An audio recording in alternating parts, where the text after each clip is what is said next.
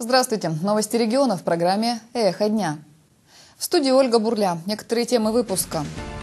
Ключи от шести новых автомобилей передал губернатор Магаданской станции скорой медицинской помощи. В ближайшее время машины оснастят системой ГЛОНАСС. У танца нет возраста, танцуйте все.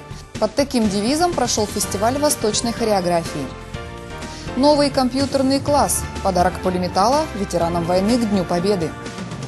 Порядок в каждом дворе. В областном центре продолжается месячник чистоты. Загадочные сказки подарил магаданцам второй областной фестиваль восточного танца. Белли Данс очаровал зрителей волшебством грации и блистательными нарядами. Сюжет Анны Рябовой.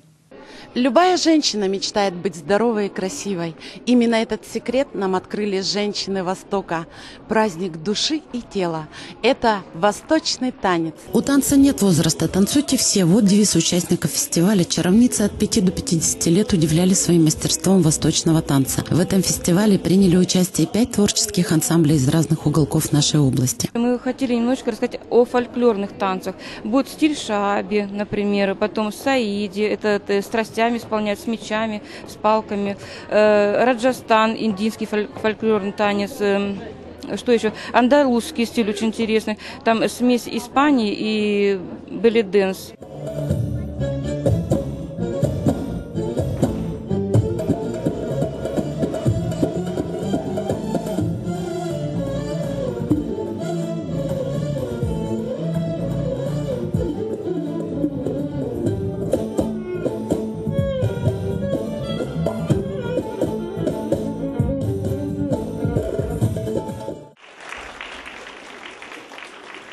Кроме эстетического наслаждения, восточный танец несет здоровье и красоту. Благодаря ему можно развить гибкость и пластичность суставов. Он положительно действует на кровообращение во всех органах, тренирует вестибулярный аппарат. Женщина, которая занимается танцами, любыми, а особенно восточными, становится пластичной, гибкой, у нее меняется фигурка, осанка, даже походка. Удивляет разнообразие стилей восточного танца. Зрелищный стиль саиди, который исполняется саблями или тростью, представила нам Юлия Тимирлиева, участница студии «Наргиз». Анна Рябова, Анатолий Тихонов, «Эхо дня».